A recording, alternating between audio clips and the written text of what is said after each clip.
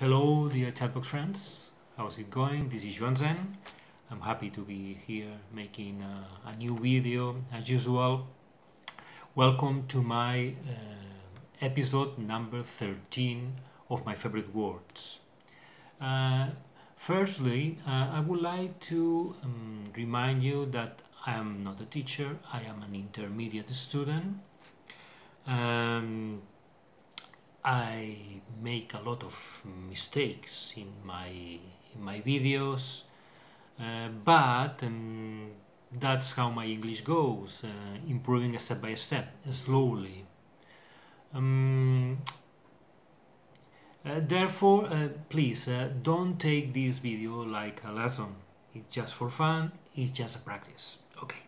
Uh, our guest today is this word, plum plummet or plummeted? Plummet or plummeted? Um, let's get started with the definition.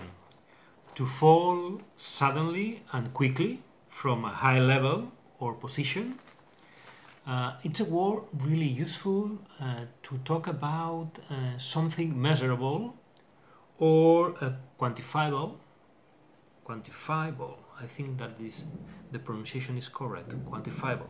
Uh, for instance, temperature, stock, mm, money, uh, scores, percentages, uh, sales, and but you uh, can use this word uh, with a, a, a type of words similar to popularity for instance, in the in this uh, um, sentence, his popularity plummeted in our last survey, for example.